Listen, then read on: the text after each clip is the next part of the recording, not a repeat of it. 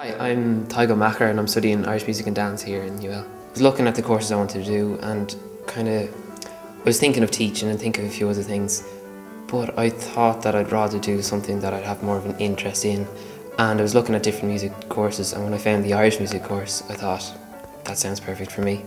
On the course we do a range of things, there's five modules that we do and two of them are almost entirely practical based, just playing music, playing, uh, we have ensemble which is kind of like a more advanced form of grúpa ceol for the fleadh. And we have our first instrument and then you can take a second instrument. The second instrument can be taken from scratch and you're kind of judged on your improvement rather than your standard as such.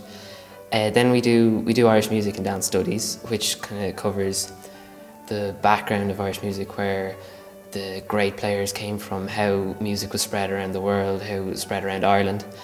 Uh, and then we do another module with the music department which changes every semester. We do a bit of recording, we do a bit of um, classical music history, uh, things like that, and it kind of changes every time. And then our fifth module is our elective, and that's Irish. We have to do some degree of Irish for the first three semesters.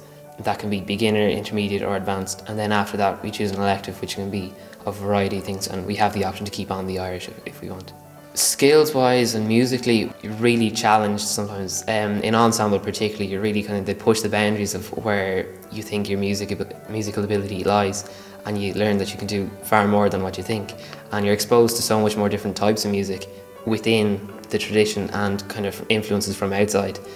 Uh, then, obviously, academically, we learn a lot. Like there's a good balance between the practical music and the academic work. Your second semester exams in, on your first instrument are always public and it's getting into that idea of performing and improving your music and improving your standard.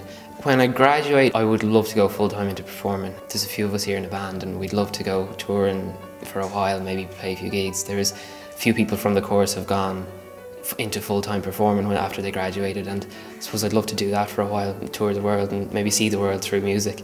Uh, apart from that I've kind of the back of my mind thinking of going down maybe a, postgraduate degree in teaching or maybe even an academic route doing an MA and a PhD. I recommend this course to people who have an interest in Irish music and maybe if you're thinking about doing a music degree or an, another arts degree, if you have a genuine interest in Irish music and playing Irish music, this is a great course to look at.